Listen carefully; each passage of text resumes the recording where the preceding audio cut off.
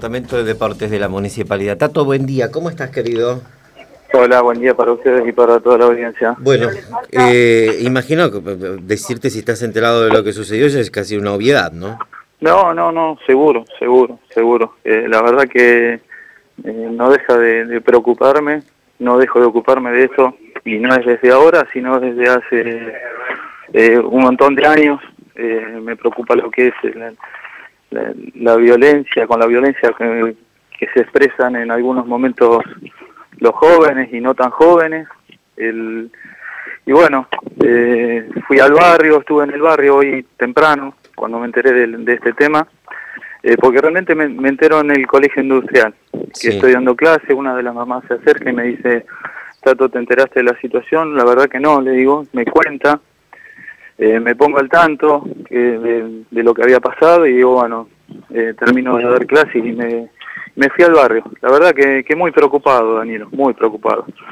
Porque si bien los vecinos dicen que no es la primera vez que pasa, nosotros hemos hablado diez mil veces con los chicos. Hemos hecho más de cinco o seis reuniones en donde siempre terminamos hablando de los hechos de violencia para que bajen los decibeles, lo bajan uno o dos días y otra vez sobre, sobre la misma historia, ¿no? Así que, que bueno, eh, vamos a ver que nos, nos juntaremos nuevamente y, determinaremos con, eh, con, con seguridad en los, en los galpones. Que, de hecho que me parece que... Eso te iba a preguntar, sí, ¿no, debe haber un responsable en los galpones?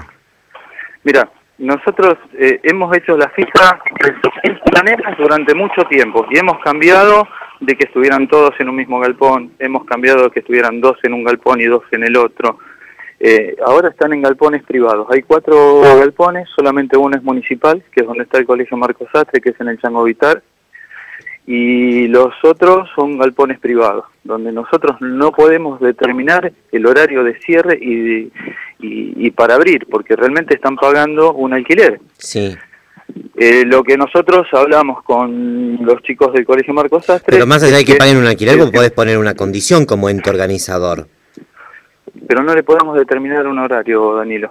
Mm. No podemos decirle a las 12 de la noche tiene que cerrar o a las 10 o a las 11 y te dicen nosotros alquilamos el galpón para hacerlo, eh, no sé, para estar eh, durante toda la noche y eso no depende de nosotros, no está a mm. nuestro alcance.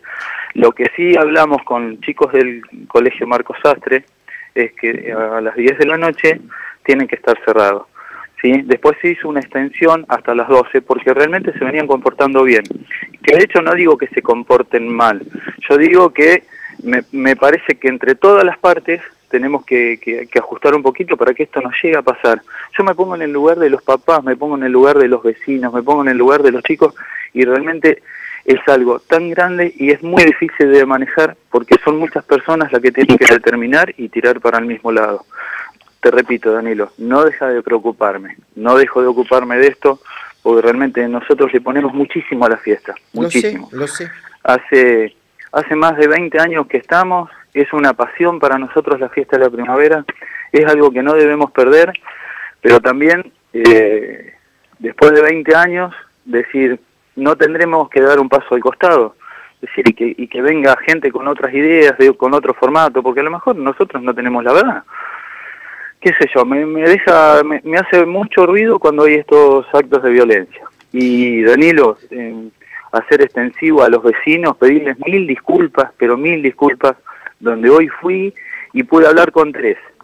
Pude hablar con, con Walter, pude hablar con eh, donde estaba Jorgelina también creo que se llama donde había una señora eh, con, con, problemas psicomotores y digo la verdad eh, me, me, fui muy mal me fue muy mal y, y, no dejo de salir del asombro de la violencia con que con que se manejan en algunos momentos no ¿por qué tanta ira? ¿por qué?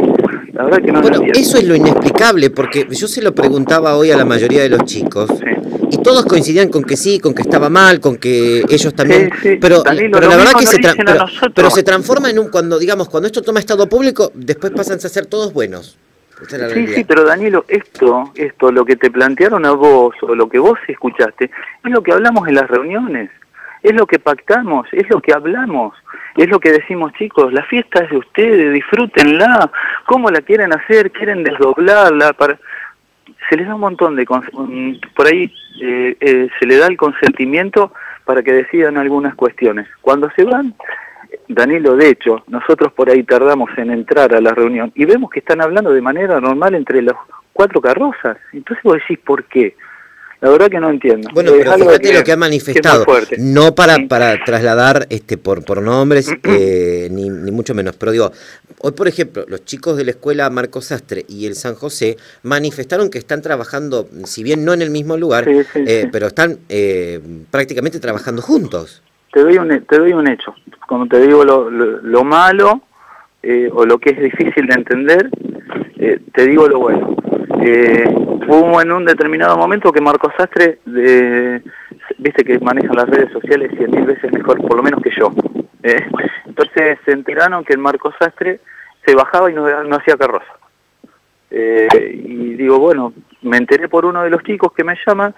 Cuando llego me dice, no, vinieron a hablar los chicos del San José, que no quieren que, que nos bajemos, que quieren que lo hagamos, nos van a ayudar esas cosas te dicen, bueno, bárbaro, está buenísimo.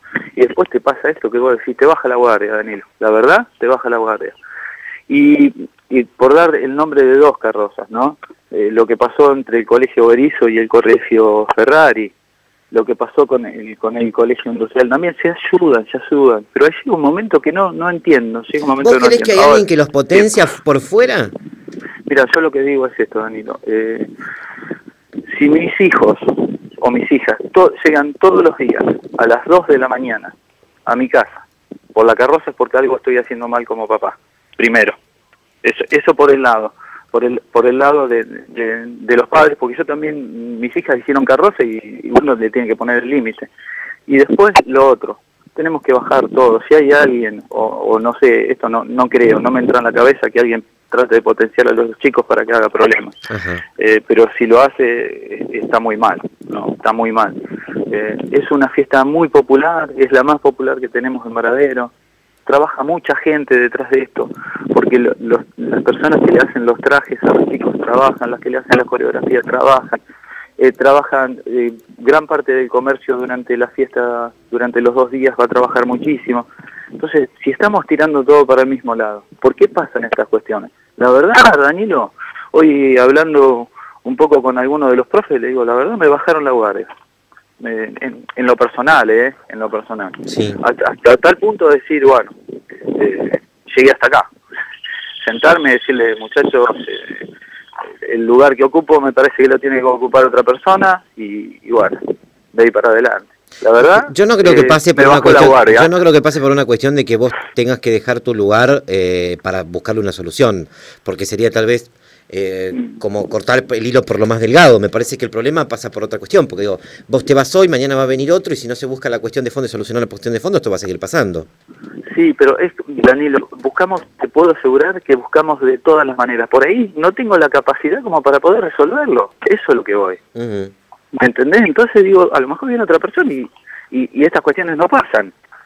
¿Me entendés? ¿Qué sé yo? No sé, he pensado tanto que en este corto tiempo, porque realmente eh, lo primero que quise hacer es ir y, dar la cara con los vecinos, porque es, mi manera en lo personal de dar la cara cuando tengo algún inconveniente. Acá lo que me dice una, un oyente es que los que van a las reuniones no son los chicos que hacen lío.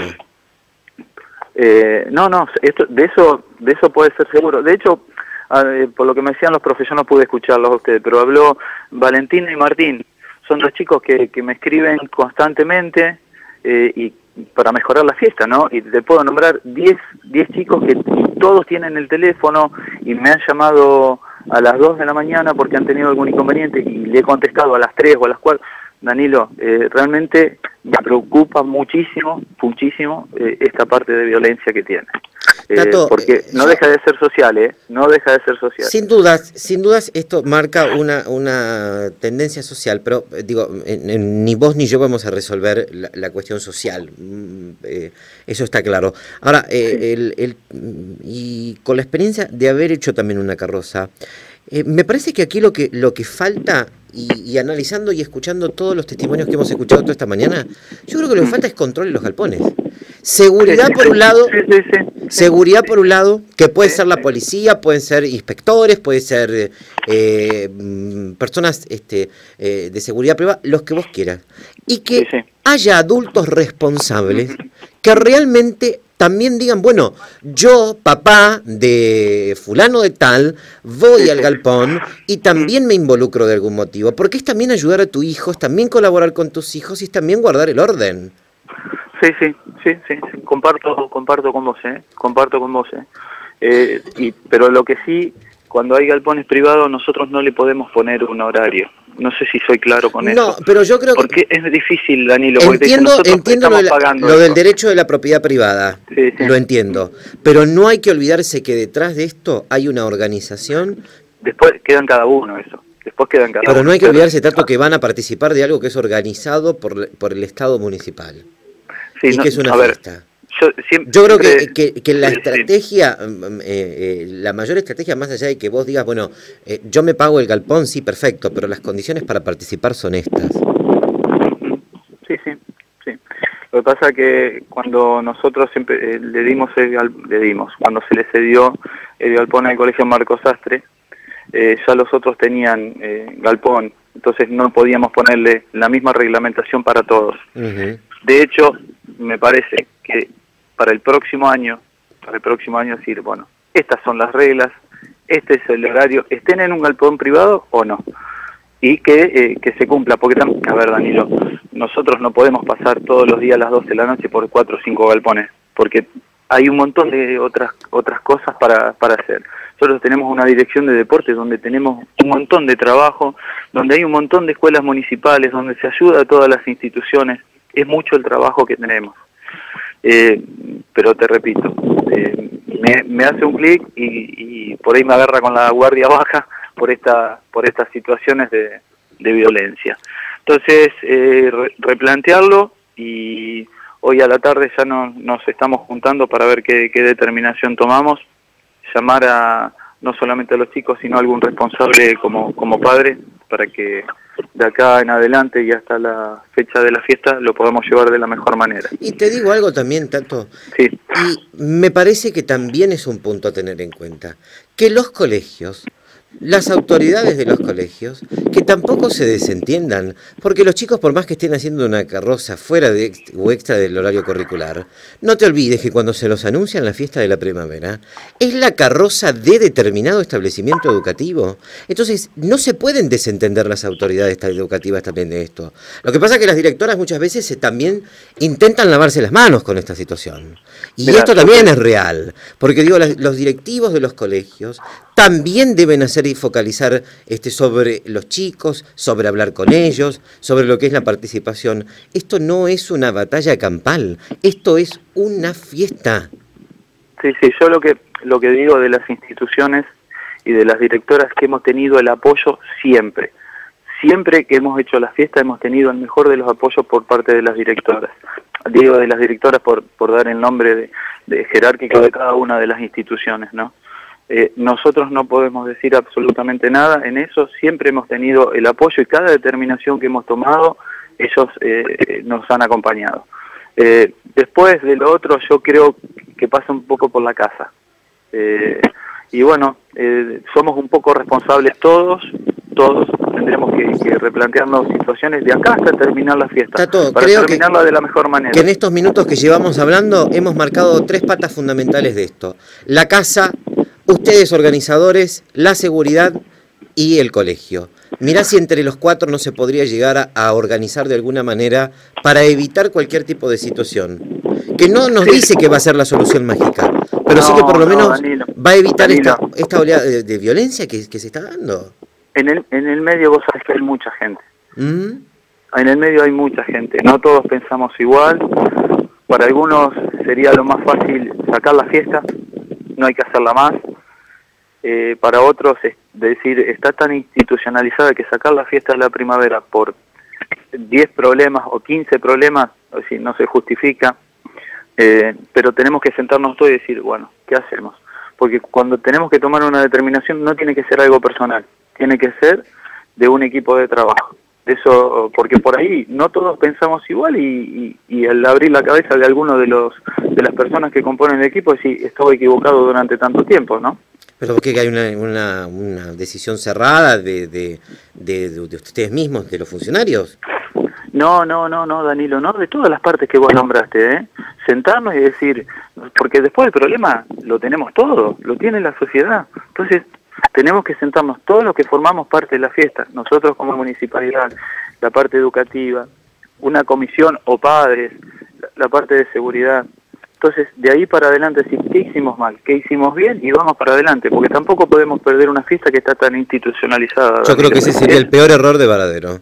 Eh, eh, eso es en lo personal, ¿eh? Eso es en lo personal. Y me hago cargo de lo que digo. Porque volvemos a lo mismo, Tato. Recurrimos a cortar el hilo por lo más delgado. No, no hacemos más la fiesta de la primavera. Y después... Mm. Y, o sea, y por cada cosa de violencia que se dé, no vamos a, a dar un paso para atrás. Exactamente. Sí, sí, sí. Sí, sí. Eh, pero yo te pensé tantas, pensé tantas cosas en este tiempo que lo, lo único que atiné al, al, principio es pedirle disculpas a los vecinos. Porque encima, cuando voy al, al, barrio de la estación, eh, había dos que habían sido alumnos míos. digo, me tengo que jubilar. no, no por eso, pero te digo, eh, cuando me pongo a hablar con ellos, no tienen que vivir esta situación esta gente, no tienen que vivirla ni, ni ellos ni nadie, no, obviamente, pero la verdad me puse en el lugar de ellos y me, me, puse muy mal, la verdad que muy mal. buen día, Tato Marcelo te habla. Ah, ¿qué hace Marcelo, querido? ¿Cómo estás? ¿Todo bien? No, lo, que, lo que yo estaba pensando, digo, que en cuanto a lo que decía Danilo también tiene razón, digo, patas fundamentales para tratar de dilucidar este problema es que erradicar de alguna manera la violencia, no la fiesta. Eh, también eh, habría que tener en cuenta de que si hay tanta competitividad como, como se habla, como escuchamos hablar a los chicos, y esto viene de hace años, de hace, de hace bastante años, eh, no se puede ver la manera de puntuar, de empezar a descontar puntos, digo. Sí, sí, también. Para que si vos tenés tanta competitividad y querés ganar, vos te vas a cuidar vos mismo y vas a cuidar lo tuyo y no vas a pensar en el otro. Es una de las reglas. Sí, estuve escuchando hoy un ratito y comparto plenamente con vos. De, una, de hecho, los chicos, cada carroza llevó reglas de convivencia. ¿Sí? que después, por lo que, por lo que vi, por lo que volví a releer hoy a la mañana, no se respetara. En la próxima reunión que tengamos con los chicos, que no va a ser, no va a escapar de hoy a la tarde o de mañana, le vamos a replantear y a tal punto que ellos están en un montón de dinero y de dejar la carroza afuera si nosotros detectamos algún hecho de violencia con, nombre y apellido. Lamentablemente, digo, tener que llegar a trabajar de esta manera o, al concurso, pero toda persona es buena, pero si es controlada mucho mejor. Y a veces somos hijos del rigor y cuando empiezan a bajar los puntos de que le corresponden a la carroza y saben que si se mandan una más, quedan afuera, me parece mm. que uno se va a contener un poquito más. Vos que sos, tal vez, no sé. Vos que sos peronista, ¿cuál era el lema de, de Perón? No decía que lo, no decía, vos que sos peronista, digo, el Perón no decía que el hombre era bueno mientras pero si se lo controlaba mejor. Sí, sí, sí seguro. Eh, yo soy tatista, más, que peronista.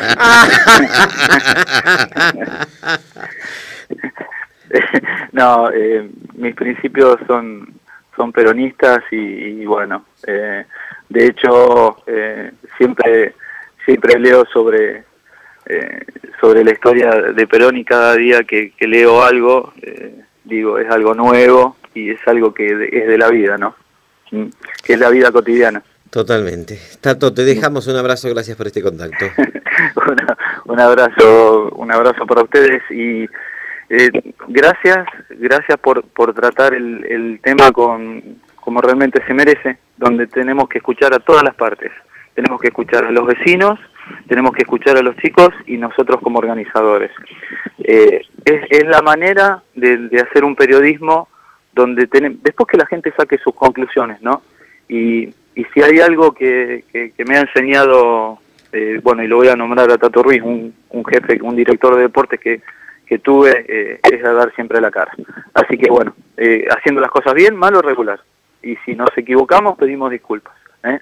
Un abrazo grande, chicos. Otro para vos, muchas gracias. Adiós. Chao, chao. Allí estaba la palabra de Osvaldo Mindurri, el jefe de departamento.